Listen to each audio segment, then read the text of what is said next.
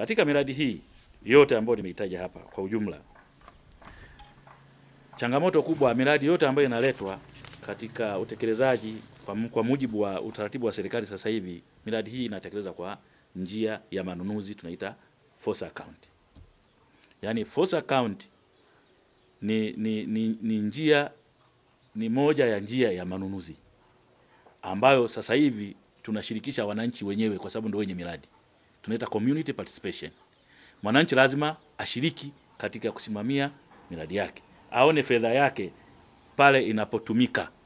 Ndio maana ya kuwashirikisha wananchi kwa kutumia njia ya force account. Kwa kwa mujibu wa sheria ya manunuzi ya umma namba saba ya mwaka 2011 na kanuni zake za mwaka 2013 zimeelekeza kwamba moja ya njia za manunuzi ni njia kwa kutumia force account ambayo tunashirikisha wananchi kwa asilimia mia. Kwa wanakuwa ni wajumbe wa kamati mle za ujenzi, mapokezi na mambo mengine. Kwa hela yao wanakuwa wanaiona. Na na njia hii ime ime ime imepunguza sana gharama za utekelezaji wa miradi kuliko kumtumia mkandarasi kama mkandarasi. Ina faida kubwa. Utakuta kituo cha afya kinajengwa kwa milioni mia nne lakini unge, ungempeleka mkandarasi angejenga kwa milioni mia nane mara mbili ya, ya fedha hizo. Lakini pia mwananchi anachangia nguvu zake, kwa hiyo anakuwa na uchungu na kusimamia fedha zile za umma. Kwa hiyo tumeona kwa hii njia ya force account sasa hivi kidogo tujielekeze kwenye kujikita kuwapa elimu elimu kubwa katika kuhakikisha kwamba miradi hii inasimamiwa. Tumeona kuna changamoto kidogo kwenye usimamizi kwa njia ya force account. Kwa sasa hivi tumejikita kwenye kutoa elimu kwa wananchi kuhusiana na miongozo ya matumizi ya utekelezaji wa miradi kwa njia ya force account. Ndugu wanahabari, eneo jingine ambalo sisi kwa majukumu yetu kama core function ni eneo la uchunguzi.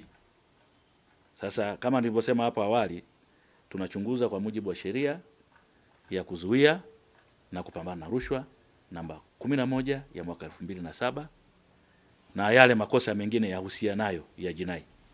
Kwa hiyo kwenye eneo hili tumekuwa tukipokea malalamiko mbalimbali kwenye eneo la uchunguzi.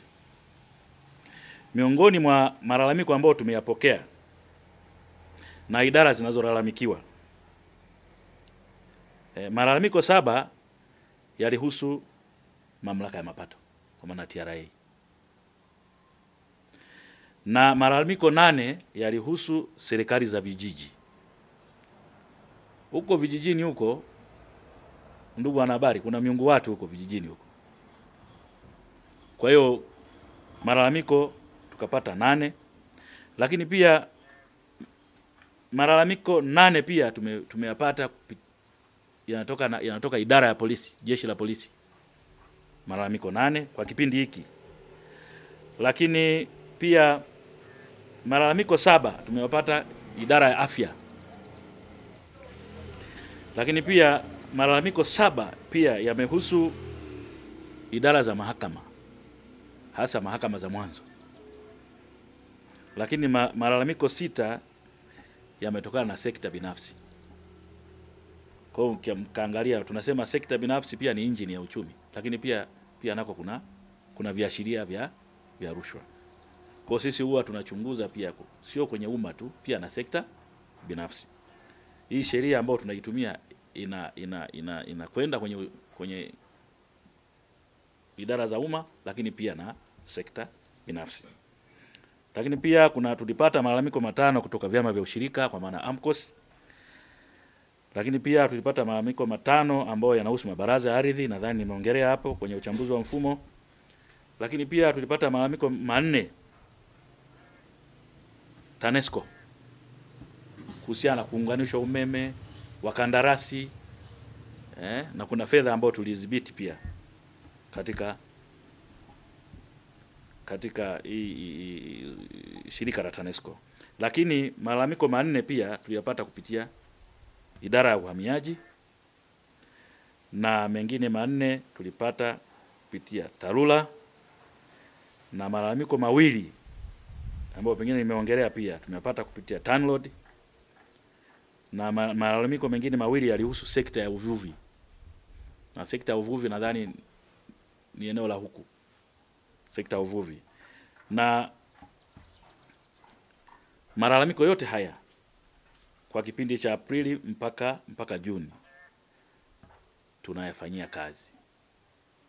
Nadhani kuja kukutana tena, tutakuja kutoa taarifa tulipofikia, kwa sababu sisi kazi yetu ni kuchunguza, kuthibitisha tuhuma na kupeleka watuhumiwa mahakamani ili wakapate haki yao. Kwa hiyo tukija kukutana tena, tutapeana taarifa kuhusiana na chunguzi hizi ambazo kulingana na malalamiko ya hizi chunguzi.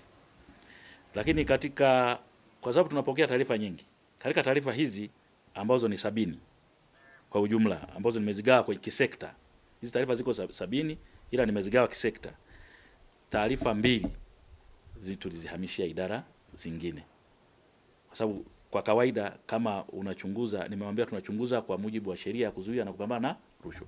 Kwa hiyo ikitokea taarifa tumeipokea, hatuwezi kumwambia mwananchi kwamba a sisi hatupokei. Hapana, sisi ni chombo cha dola, chombo cha serikali, tunaipokea hiyo taarifa, lakini tunampa muhusika mwingine aishughulikie. Lakini tukimpa aishughulikie, tunataka atupe feedback, ameshughulikiaje huyo mwananchi, amemtatulia vipi shida yake.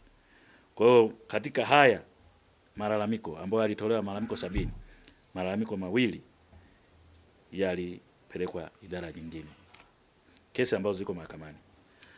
Mpaka sasa hivi tuna kesi kumi na sita mahakamani ndo zinazoendelea, bado ziko kwenye hazijafika kwenye maamuzi.